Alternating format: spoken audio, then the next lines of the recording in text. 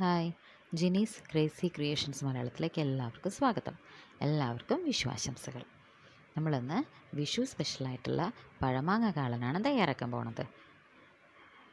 പഴമാങ്ങ കാളൻ ഈ ഒരു വിഷുക്കാലത്താണ് ഏറ്റവും കൂടുതലായിട്ട് നമ്മൾ വയ്ക്കുക കാരണം വേറെ ഒന്നും കൊണ്ടല്ല മാമ്പഴക്കാലമാണല്ലോ ഈ ഒരു സമയം എന്ന് പറയുന്നത് അപ്പോൾ ധാരാളം നമുക്ക് പഴുത്ത മാങ്ങ എപ്പോഴും കിട്ടാനുള്ള സാധ്യതയുണ്ട്. അപ്പോൾ അതുകൊണ്ട് തന്നെ നമ്മൾ ഈ ഒരു സമയത്താണ് കറികൾ സാധാരണ വെക്കാറ് നമുക്ക് നോക്കാം. നമുക്ക് ആദ്യം വേണ്ടത് പഴുത്ത മാങ്ങ തോൽ കളഞ്ഞത് ഒരു കപ്പ് തൈര് ഒരു കപ്പോളം വെള്ളരിക്ക കഷ്ണം നുറുക്കി വെച്ചത് ഒരു മുറി തേങ്ങ ചിരകിയത് ഒരു കപ്പും നാല് പച്ചമുളകും അതിലേക്ക് ഒരു രണ്ടച്ച് ശർക്കര കുറച്ച് കറിവേപ്പില പിന്നെ നമുക്ക് കുറച്ച് മസാലകൾ സാധാരണ ഉപയോഗിക്കണം. മുളക് പൊടി മഞ്ഞപ്പൊടിയൊക്കെ വേണം. അപ്പോൾ നമുക്കത് എങ്ങനെയൊക്കെ ചേർക്കണം എന്നുള്ളത് ആ ചേർക്കണ സമയത്ത് നോക്കാം. പിന്നെ കുറച്ച് ചതച്ച മുളകാണ് കേട്ടോ. ഇപ്പോൾ എന്റെ അടുത്ത് ഉണക്ക മറ്റേ ഉണക്കമുളക് ചതച്ചേണ്ട ചതച്ചതേ ഉണ്ടായിരുന്നുള്ളൂ. അപ്പോൾ അതുകൊണ്ടാണ് അത് എടുത്തിട്ടുള്ളത്. അപ്പോൾ നമുക്ക് നോക്കാം. അപ്പോൾ ആദ്യം എങ്ങനെയാണ് നമ്മളിത് വെക്കാൻ നോക്കാം കേട്ടോ. പണ്ടൊക്കെ അത് നമ്മൾ നല്ല കൽച്ചട്ടിയിലൊക്കെ ആയിരുന്നു എന്റെ വീട്ടിലൊക്കെ ഉണ്ടാക്കിയിരുന്നത്. ഇപ്പോൾ പിന്നെ നമ്മളെല്ലാവരും കുക്കറിലല്ലേ വെക്കണം. അപ്പോൾ നമുക്ക് ആദ്യം വെള്ളരിക്ക വേവിച്ചെടുക്കുകയാണ് വേണ്ടത്. അപ്പോൾ നമുക്ക് നോക്കാം. ഞാൻ കുക്കറിലാണെന്ന് തയ്യാറാക്കാൻ പോണത് കേട്ടോ. അപ്പോൾ ശരിക്കും നമ്മൾ നല്ല മൺചട്ടിയിലൊക്കെ വെക്കുകയാണെങ്കിൽ നല്ല ടേസ്റ്റ് ആയിരിക്കും. അപ്പോൾ നമുക്ക് ഈ വെള്ളരിക്കയും ശർക്കരയും ഒക്കെ അങ്ങനെ ആദ്യം നമുക്കൊന്ന് വേവിച്ചെടുക്കാം. അപ്പോൾ നമുക്ക് നോക്കാം എങ്ങനെയാണ് തയ്യാറാക്കുന്നതെന്ന്. അപ്പോൾ അതൊക്കെ ഞാൻ പറഞ്ഞ പോലെ കുക്കറിലാണ് വയ്ക്കുന്നത് കുക്കറിൽ നമ്മൾ ആദ്യം വെള്ളരിക്ക കഷ്ണങ്ങളിട്ടിട്ട് കുറച്ച് വെള്ളം ഒഴിച്ചു കൊടുക്കുക. ഒരു കപ്പ് വെള്ളം ഒഴിക്കുന്നുണ്ട് ഞാൻ. ഒരു കപ്പ് വെള്ളം ഒഴിച്ചു കൊടുക്കുക. പിന്നെ നമ്മൾ അത് ഈ വെള്ളരിക്ക വേവിക്കുന്നതിന്റെ ഒപ്പം തന്നെയാണ് നമ്മൾ ശർക്കര ഇടുന്നത്. ഏതായാലും നമ്മൾ കുക്കറിലല്ലേ വെക്കണം. അപ്പോൾ പിന്നെ വെള്ളരിക്ക വേവുന്ന കൂട്ടത്തിൽ തന്നെ ശർക്കര ഇട്ട് കഴിഞ്ഞാൽ അത് പെട്ടെന്ന് തന്നെ അലിഞ്ഞ് ചേർന്നോളും. അപ്പോൾ നമ്മൾ രണ്ട് അച്ച ശർക്കര ഈ വെള്ളരിക്ക വേവിക്കുന്നതിനോട് ഒപ്പം തന്നെ നമ്മൾ കുക്കറിലിടുകയാണ് പിന്നെ നമുക്ക് കുറച്ച് മസാലകൾ. നമ്മൾ സാധാരണ കറികൾ വെക്കുമ്പോൾ എന്തൊക്കെയാണ് ചേർക്കുക? ഉപ്പും മഞ്ഞൾപ്പൊടി മുളക് പൊടിയൊക്കെ ചേർക്കും. അപ്പോൾ നമുക്ക് ആദ്യം ഒരു അര സ്പൂൺ മുളക് പൊടി ചേർക്കാം.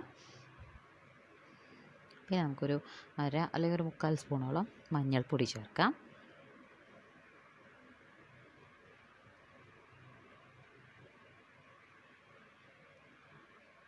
പിന്നെ നമുക്ക് ആവശ്യത്തിനുള്ള ഉപ്പ് ചേർക്കാം. നമുക്കിപ്പം കുറച്ച് വെള്ളരിക്ക വേവിക്കുമ്പോൾ കൂടെ ഇട്ട് കൊടുക്കാം. പിന്നെ നമുക്ക് പോരാന്ന് തോന്നുകയാണെങ്കിൽ നമുക്ക് അവസാനം ചേർത്ത് കൊടുക്കാം കേട്ടോ. അപ്പോൾ ഞാനിപ്പോൾ ഒരു അര സ്പൂണോളം ഒരു മുക്കാൽ സ്പൂണോളം ഞാൻ ഉപ്പ് ചേർത്ത് കൊടുത്തിട്ടുണ്ട്.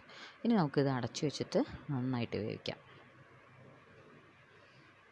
വെള്ളരിക്കയല്ലേ? എത്ര വലിയ വേവൊന്നുമില്ലല്ലോ. നമുക്കൊരു മൂന്നോ നാലോ വിസിലുണ്ട് ഒരു മൂന്ന് നാല് വിസിലുകൊണ്ട് നമുക്കത് വേവിച്ചെടുക്കാവുന്നതേ ഉള്ളൂ. അപ്പം ഈ വെള്ളരിക്ക വേവുന്ന സമയം കൊണ്ട് നമുക്ക് എന്ത് ചെയ്യണം? നമ്മൾ ചിരകി വെച്ചിട്ടുള്ള ഈ ഒരു കപ്പ് ചിര തേങ്ങയുണ്ടല്ലോ. ആ തേങ്ങ നന്നായിട്ടൊന്ന് പിന്നെ നമുക്ക് കുറച്ച് ജീരകവും കൂടി മിക്സ് ചെയ്തിട്ട് ആവശ്യത്തിന് വെള്ളം ഒഴിച്ചിട്ട് നമുക്ക് ഒന്ന് അരച്ചെടുക്കാം. നല്ല ഫൈനായിട്ട് അരയണ്ട. പൊതുവേ നമ്മൾ പച്ചക്കറികൾക്ക് നന്നായിട്ട് അരക്കില്ലല്ലോ. നമുക്കൊന്ന് കുറച്ചൊന്ന് തേങ്ങ കടിക്കുന്ന രീതിയിലല്ലേ അരയ്ക്കുക അപ്പോൾ നമുക്ക് ഒന്ന് അങ്ങനെ അരച്ച് എടുക്കാം കുറച്ച് ജീരകം ഇടണേ. കുറച്ച് ജീരകവും ആവശ്യത്തിന് വെള്ളം ഒഴിച്ചിട്ട് നമുക്കിത് അരച്ചെടുക്കാം.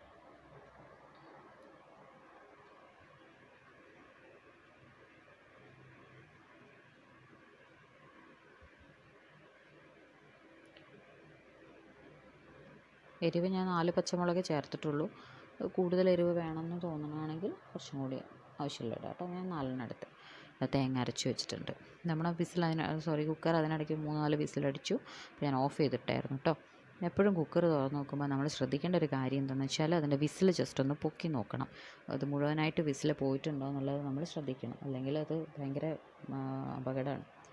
നമ്മുടെ നമ്മുടെ വെള്ളരിക്ക വെന്തിട്ടുണ്ട് നന്നായിട്ട്. നമ്മുടെ ശർക്കരയൊക്കെ അലിഞ്ഞ് ചേർന്നിട്ടുണ്ട്. അപ്പോൾ ഇനി നമുക്കതിലേക്ക് എന്ത് ചെയ്യാന്ന് വെച്ചാൽ നമുക്ക് തൈര് ചേർക്കണം. തൈര് ഞാൻ ഇവിടെ ഒരു കപ്പ് എടുത്ത് വെച്ചിട്ടുണ്ട്. അപ്പോൾ ചിലപ്പോൾ ആ ഒരു കപ്പ് മുഴുവൻ വേണ്ടി വരില്ല. പക്ഷേ ചിലപ്പോൾ നമുക്ക് കുറച്ചും കൂടി ചേർക്കേണ്ടി വരും. നമുക്ക് നോക്കാം. തൈരിന്റെ പുളി എത്രത്തോളം ഉണ്ടെന്നുള്ളത് നമുക്ക് നോക്കിയിട്ട് നമുക്ക് ആവശ്യത്തിന് വേണമെങ്കിൽ കുറച്ചും കൂടി ചേർത്ത് കൊടുക്കാം കേട്ടോ. അപ്പോൾ നമുക്ക് എന്ത് ചെയ്യാം? വെള്ളമൊക്കെ പാകത്തിനാണുള്ളത്. കൂടുതലില്ല. കുറവുണ്ടെങ്കിൽ നമുക്ക് ചിലപ്പോൾ ചിലർ കഴിക്കുമ്പോൾ വെള്ളത്തിന് കുറവുണ്ട്. പിന്നെ കുറച്ച് കൂടി ഒഴിച്ച് കൊടുക്കാം കേട്ടോ. അപ്പോൾ ഞാൻ തൈര് ചേർക്കാൻ പോവുകയാണേ ഞാൻ ആദ്യം കുറച്ചൊന്ന് ചേർത്ത് നോക്കട്ടെ. എന്നിട്ട് നമുക്ക് വേണമെങ്കിൽ കുറച്ചും കൂടി ഒഴിക്കാം. ഞാനിടയ്ക്ക് നോക്കിയായിരുന്നു കേട്ടോ. അപ്പോൾ കുറച്ച് അധികം പുളിയില്ല അപ്പോൾ നമുക്കത് മുഴുവൻ ചേർത്ത് കൊടുക്കാം. ഇനി നമുക്ക് എന്ത് ചെയ്യാം? ഈ തൈര് തിളയ്ക്കുന്നതോടൊപ്പം തന്നെ നമ്മൾ എന്ത് ചെയ്യണം? ഈ പഴുത്ത നമ്മുടെ തോൽ കളഞ്ഞ് വെച്ചിട്ടുള്ള മാങ്ങയില്ലേ? ആ മാങ്ങ നമുക്ക് ഇട്ട് കൊടുക്കാം. ആ മാങ്ങയും കൂടി ചേർത്തിട്ട് നന്നായിട്ടൊന്ന് തിളപ്പിക്കാം. അപ്പോൾ എന്താ ഉണ്ടാവുക വെച്ചാൽ നമ്മുടെ ഈ തൈരിന്റെ പുളി മാങ്ങയിലേക്കും പിന്നെ നമ്മുടെ വെള്ളരിക്ക കഷ്ണത്തിലേക്കും ഒക്കെ നന്നായിട്ട് പിടിക്കും. അപ്പം നല്ല ഈ ഈ സമയത്ത് വേണമെങ്കിൽ നമുക്ക് ഉപ്പ് വേണം തോന്നുകയാണ് ഇട്ട് കൊടുക്കുക. അതല്ല കറി നമുക്ക് തേങ്ങ എല്ലാം ചേർത്തിട്ടാണ് ഉപ്പ് വേണം തോന്നുന്നത് അപ്പം നമുക്ക് ഉപ്പ് ചേർത്ത് കൊടുക്കുക കേട്ടോ. നമുക്കത് കുറച്ച് കറിവേപ്പിലൊക്കെ ഇട്ടിട്ട് അടിപൊളിയാക്കാം അല്ലേ? നമുക്കൊന്ന് നന്നായിട്ട് തിളപ്പിച്ചെടുക്കണം കേട്ടോ. വേണമെങ്കിൽ ഒന്ന് അടച്ചു വെക്കാം. അടച്ചു വെച്ചാൽ കുക്കറല്ലേ? വിസിലിടണ്ട വിസിലിടാതെ നമുക്ക് വെറുതെ ഒന്ന് അടച്ചു വയ്ക്കാം നന്നായിട്ട് പെട്ടെന്ന് തിളച്ച് കിട്ടും. നോക്കട്ടെ കേട്ടോ ഒന്ന് ഇളക്കി കൊടുക്കട്ടെ. നമുക്കൊന്ന് അടച്ചു വയ്ക്കാം എന്തായാലും നന്നായിട്ടൊന്ന് തിളച്ചോട്ടെ. വിസിലിടാതെ നമുക്കൊന്ന് അടച്ചു വയ്ക്കാം ഒരു രണ്ട് മിനിറ്റ് ഒന്ന് തിളച്ചാൽ കണ്ടോ നന്നായിട്ട് തിളച്ചിട്ടുണ്ട്. അപ്പോൾ നമ്മുടെ മാങ്ങയിലേക്കും വെള്ളരിക്കയിലേക്കും ഒക്കെ ആ തൈരിന്റെയും ശർക്കരയുടെ ഒക്കെ ടേസ്റ്റ് ഇറങ്ങിയിട്ടുണ്ടാവും. ഇനി നമുക്ക് തേങ്ങ ചേർത്ത് കൊടുക്കാം കേട്ടോ.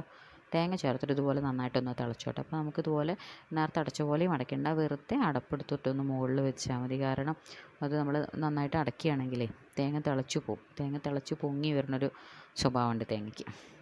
അപ്പോൾ തേങ്ങ തിളച്ച് പോയി കഴിഞ്ഞാൽ നമ്മൾ കറി തിളച്ച് തൂവി കഴിഞ്ഞാൽ പിന്നെ കറിയുടെ ടേസ്റ്റ് ഉണ്ടാവില്ല എന്നാണ് പറയാം. അപ്പോൾ നമുക്ക് വെറുതെ ഒന്ന് അടച്ചു വയ്ക്കാം എന്നാലും ശ്രദ്ധിക്കണം കേട്ടോ. അടച്ചു വെച്ചാലും വെറുതെ അടച്ചു വെച്ചാലും ചിലപ്പോൾ തേങ്ങ പൊങ്ങി പോവാറുണ്ട്. അപ്പോൾ അതുകൊണ്ട് നമുക്ക് ഒന്ന് ശ്രദ്ധിക്കുക ഒരു രണ്ട് മിനിറ്റ് ഒന്ന് വെറുതെ ഒന്ന് അടച്ചു വെച്ചിട്ട് നമുക്ക് ആ തേങ്ങ തിളപ്പിച്ചെടുക്കാം. തുറന്നു നോക്കട്ടെ ആ നന്നായിട്ട് തിളക്കുന്നുണ്ട് കണ്ടോ? ഹായ് നല്ല സ്മെല്ല്. പഴുത്ത മാങ്ങയുടെയും ശർക്കരയുടെയും ഒക്കെ നല്ലൊരു സ്മെല്ല് വരുന്നുണ്ട്. ഇനി നമുക്ക് കറി നമ്മുടെ കറി കറി റെഡിയായി ഇത്ര പണിയുള്ളൂ ഇനി നമുക്കൊന്ന് വറുത്തിട്ട് എടുക്കണം. സിമ്പിളാണെന്നേ. നമുക്ക് പഴുത്ത മാങ്ങ ഉണ്ടെങ്കിൽ നമുക്ക് എപ്പോൾ വേണമെങ്കിലും ഉണ്ടാക്കാം. ഈ ഒരു സമയത്താണ് നമുക്ക് പഴുത്ത മാങ്ങ ധാരാളം കിട്ടുക എന്ന് മാത്രം. അപ്പം മാമ്പഴക്കാലല്ലേ? അപ്പം മാമ്പഴക്കാലത്ത് നമ്മൾ വിഷു എന്ന് പറയുമ്പോഴേക്കും എനിക്ക് ഓർമ്മ വരും ഈ ഒരു കറിയാണ് കാരണം ഞാൻ ചെറിയ കുഞ്ഞു കുട്ടിയാകുമ്പോഴേ വീട്ടിലുണ്ടാക്കുന്ന ഒരു കറിയാണ് വിഷുവിന്. ഞങ്ങളുടെ വിഷു വിഷു സ്പെഷ്യൽ കറിയായിട്ടാണ് ഞങ്ങളിതിനെ പ്രഖ്യാപിച്ചിട്ട് അപ്പോൾ എനിക്ക് ഏറ്റവും ഭയങ്കര ഇഷ്ടമാണ് ഈ സാധനം. അപ്പോൾ ഈ ഒരു സമയമായാണ്ടല്ലോ എനിക്ക് ഈ കറി ഒരു തവണയെങ്കിലും കൂട്ടിയിട്ടില്ലെങ്കിൽ ഒരു സമാധാനം ഉണ്ടാവില്ല. എന്തായാലും നമുക്കിത് വറുത്തിടാം. ഈ വെളിച്ചെണ്ണ ചൂടാവാൻ കുറച്ച് ബുദ്ധിമുട്ടുണ്ട്. നമ്മുടെ ഈ നോൺ സ്റ്റിക്ക് പാത്രം ആകുമ്പോഴേ അത് പെട്ടെന്ന് അങ്ങോട്ട് എന്താ അറിയില്ല. എനിക്ക് അങ്ങനെ ഫീൽ ചെയ്തു തോന്നലാണോ എന്നറിയില്ല കടുക് പൊട്ടിക്കാൻ കുറച്ച് പാടാം. നമ്മുടെ മറ്റേ സാധാരണ അലൂമിനിയം ഇരുമ്പിന്റെയൊക്കെ ചീനച്ചട്ടി പോലെയല്ല. ഇത് കുറച്ച് പൊട്ടില്ലേ മുഴുവനായിട്ട്. എന്തായാലും നമുക്ക് കടുക് ഇട്ട് കൊടുക്കാം കേട്ടോ. ചൂടായിട്ടിട്ട് കടുക് ഒന്ന് പൊട്ടി വരുമ്പോൾ നമുക്ക് ഉലുവ ഇട്ട് കൊടുക്കാം.